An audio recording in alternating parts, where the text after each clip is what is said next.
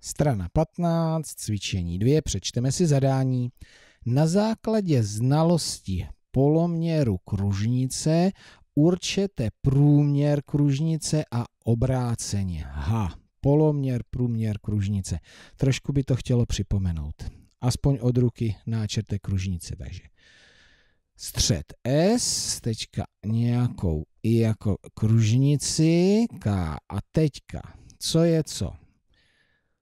Přímka procházející středem je od tohoto bodu k tomuto bodu. To je průměr a poloměr je tohle a tohle.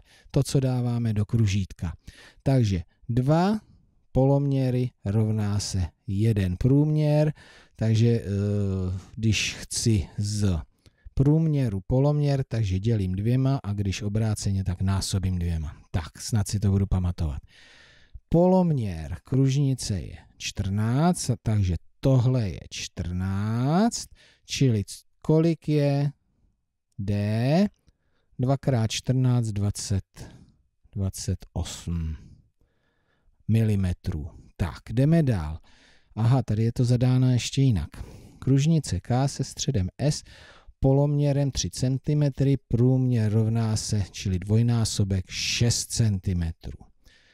Tady zase obráceně, čili průměr 20 mm, poloměr, čili tohle je 20 a polovina je 10 mm, nezapomenu na jednotky. Tak a teďka průměr 40 mm, kružnice K se středem S a poloměr a pozor, tady jsou milimetry, tady jsou centimetry, takže tohle to musím převést na centimetry, protože to jsou 4 cm a když je tohleto průměr, tak poloměr bude polovina 2 cm. Tak, 20, máme to dobře. Takže pozor, ještě jednou. 1 průměr rovná se 2 poloměry. Ano? Budeme si to pamatovat? Tak jo.